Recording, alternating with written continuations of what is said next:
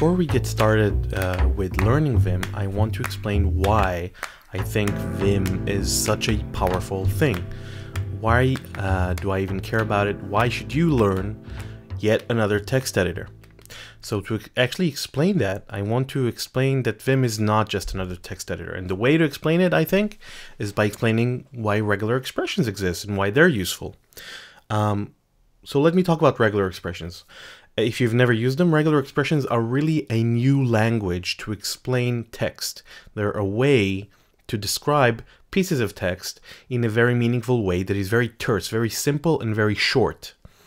And in that regard, once you learn regular expressions and how to talk about text in a form of a regular expression, in many fields of working IT and programming, this becomes very useful, especially when you're working a lot with text, obviously, and it's very complicated and it can save you a, long, a lot of time for things that would be very long to do in a programmatic way.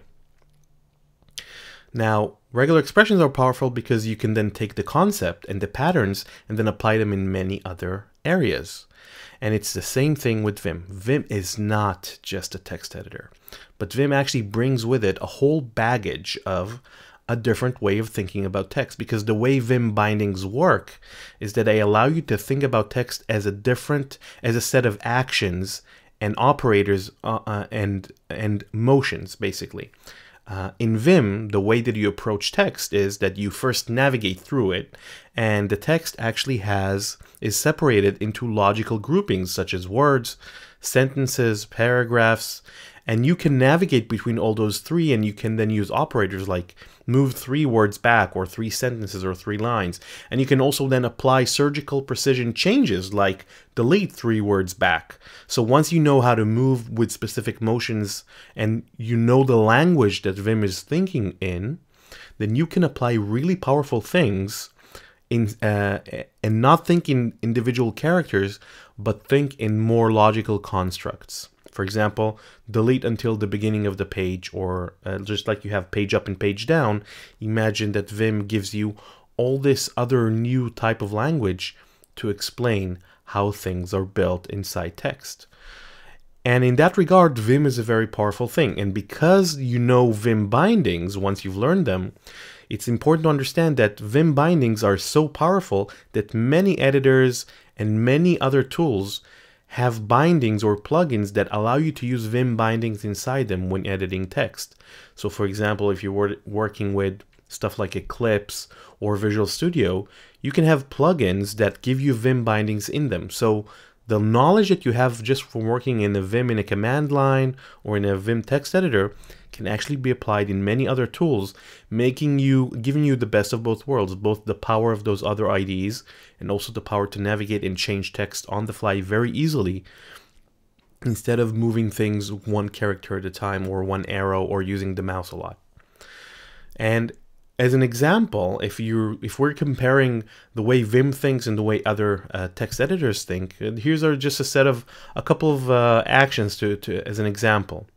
If you have an action of changing text inside braces, usually in the standard editor you would have to like control shift or command shift or alt shift and hit a bunch of arrows repeatedly to move the cursor from one side to the other while selecting and then pressing delete. And many times you would use two or even three fingers on the keyboard at the same time to be able to do this and pressing things repeatedly. The Vim way is usually that there are many different ways to do it and there are it should be very easy and you should need the least amount of fingers to achieve it. So in Vim you'd press escape and then type CI and then end brace. Basically you could use one finger, press escape and then C and then I and then brace. And what happens then is that uh, well, technically, you can say it's two because having a brace requires a shift. So uh, my mistake.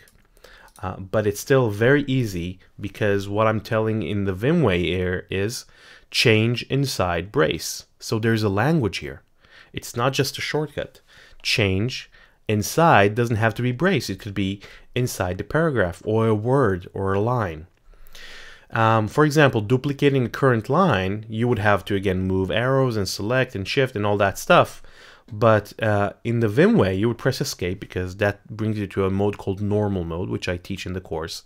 And then pressing Y, Y, P. which is basically y y. Uh, y is basically uh, be prepared to paste. Y, the second one says the current line. If you do two y's means the current line.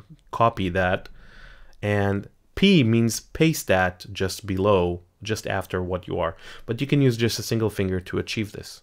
If you want to combine two, two lines to form a single line, that's, you know, you have to move and then press delete or use backspace and you have to be at the end of a line or the beginning of the current line, etc. And in Vim, you just press escape again. You move to normal mode, which is navigation. You press Shift J, no matter where you're on the line, and that basically combines the line after you and removes all the uh, ending new line uh, characters in the current line.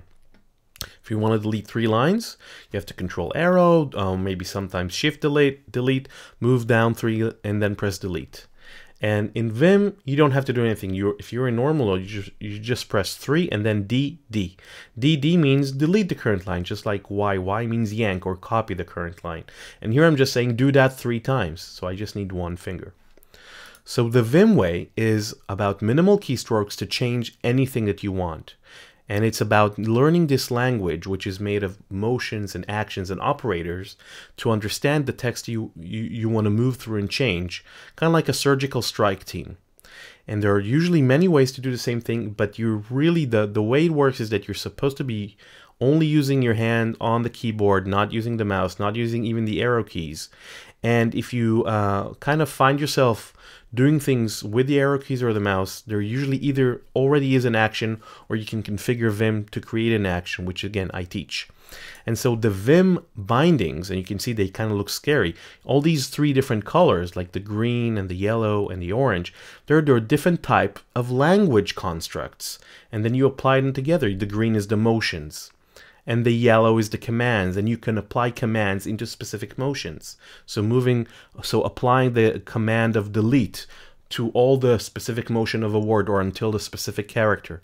And then operators like how many times do i want to actually achieve that etc etc and of course you have the insert mode which is just allows you to change things just by typing. But really insert mode is the mode that you uh, use almost the least because most of the time you navigate and you execute commands instead of typing and pressing backspace, etc., and arrow keys, Vim does most of the work for you.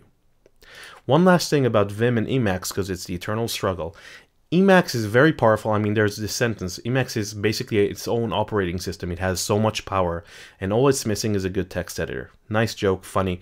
But Emacs really is a very powerful uh, editor, and Emacs is really built on really uh, almost chord-like shortcuts that usually use two or three, at least three fingers to achieve something, and you can do a lot of things, and you can uh, customize the hell out of it. So it's a really powerful editor. You should definitely learn it because you should not limit your worldview to just a single point of view.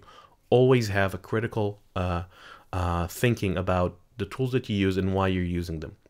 So that's kind of the idea. If you want to learn Vim, what you're learning is not the text editor, but a way of thinking about text and a text editor that was built for someone who thinks about text in that way, just like you're using regular expressions.